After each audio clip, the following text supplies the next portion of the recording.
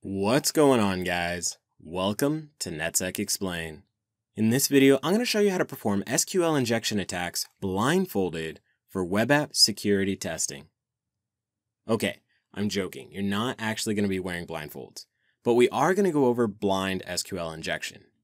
The major difference between normal SQL injection and blind SQL injection is that blind SQL pages only return a true or false response, usually in the form of error messages. Now, you would think, that should handle our problem, right? Well, not quite. Sites that are vulnerable to blind SQL injection don't address the underlying problem. They can still allow user input to be treated as part of the SQL query itself. So, how can we take advantage of this? Well, there are some SQL functions that we can use to slowly build up, bit by bit, the contents of the database. And that's what we're going to do here. Just like in the previous SQL injection video, we're going to walk through how to use this vulnerability to map out the database and steal user credentials.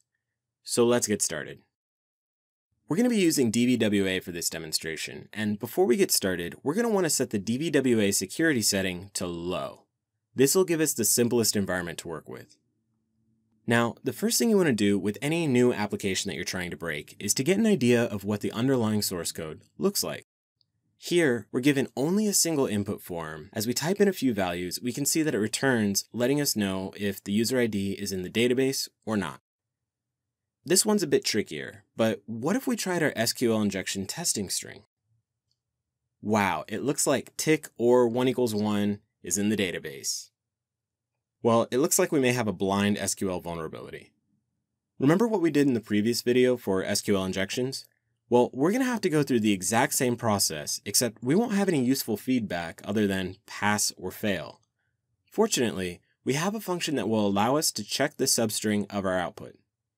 Here, it may make sense to try and brute force the database name, one letter at a time. We could ask, is the first letter A? No. Is the first letter B? No. And so on. But there's a much more efficient way that we can do this. It's called binary search. If we type out the alphabet, we can use the substring function to play the game higher or lower with the database. You know the game. Your friend picks a number between 1 and 100, and you have to guess which it is. Each time you guess a number, your friend says whether it's higher or lower. Then you guess again. That's what we're going to do. We start in the dead center with n, and here's how it works. Let's do a check for the database name. From here, we're going to copy and paste in our queries one by one until we get a pass. Is it higher? Is it lower? Or is it equal to? In this case, the substring is lower than the letter n. So if we were to pick the center of our left characters, we would get the letter G. Fill in the queries and try it again.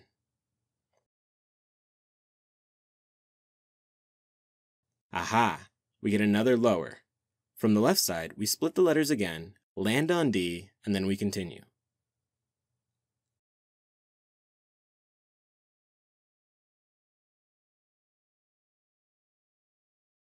Okay, our first letter is D.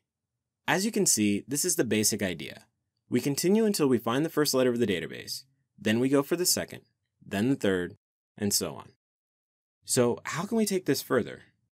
Well, we could write a script that does all of this guessing and checking for us, but I'll leave that up to you as a fun exercise to do at home. Instead, someone's already created a script that will allow us to do this much faster. It's called SQLMap, and it's not just limited to blind SQL. You can download it from sqlmap.org.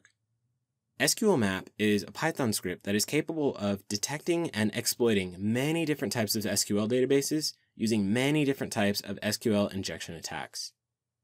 I'm only going to show you the most general way to use it, and walk through the same steps we did in the earlier SQL injection video. First, we're going to need to use Burp Suite to capture a query to the database that returns a true value.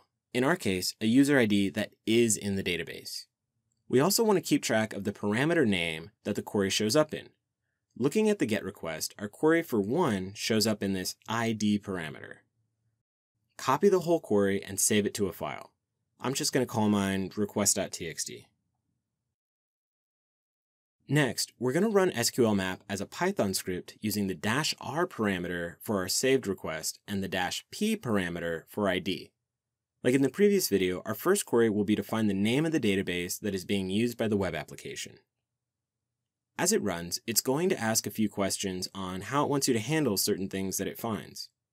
We're just going to use the default options by hitting enter along the way.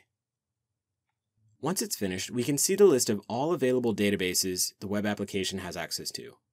Even if we didn't know already, it would be pretty easy to figure out that the DVWA web application is using the DVWA database. Okay, so now that we know the database name, we can plug it into our next command and list all of its tables. Awesome. We have guestbook and users. Now, what about the columns in the users table?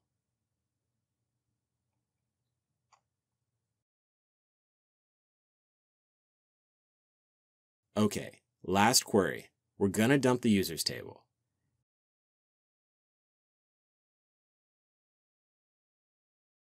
Here, you're going to want to pay attention. If SQL map finds any sort of password hashes, it'll ask if you want to try and crack them. It has its own default word list, but I'm going to use my own custom file, passworddict.txt. And no, we don't want to use common suffixes. Now, this is what I can only describe as the most matrix style of password cracking I have ever seen. It's just really fun to watch.